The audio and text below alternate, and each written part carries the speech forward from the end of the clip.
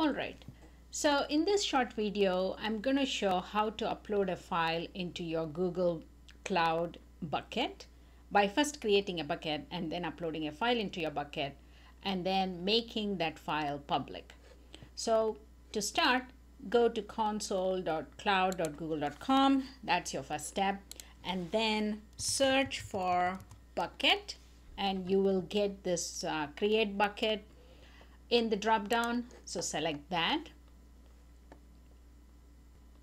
So you can give any name you want and I'm, it, this has to be a globally unique name. Uh, so some of the ones that you give might not work. For example, I put in test and it says that bucket name is taken. So give something which is unique. Uh, I'm to put in MBCC, although MBCC is also there.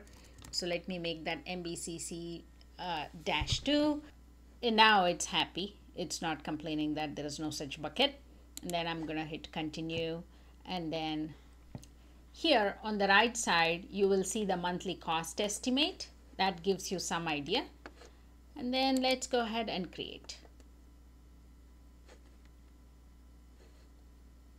So it now created a bucket here. Under buckets, you see MBCC-2.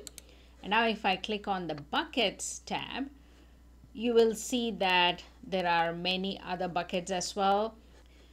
So these other buckets that you see are automatically created um, when certain applications are deployed. So we're not going to worry about it. This is the one that we just now created, MBCC-2. So now you can upload a file. So click on upload files, pick up your file, and by default it's not public. Okay, so you see the three dots here. So click on that icon, click on this add permissions and then click on this add entry and here choose public. In this field, select all users and then save. So that makes this particular file public and now this copy URL, click on that copy URL. So the URL is copied. And now this URL is public and anybody with that URL can access.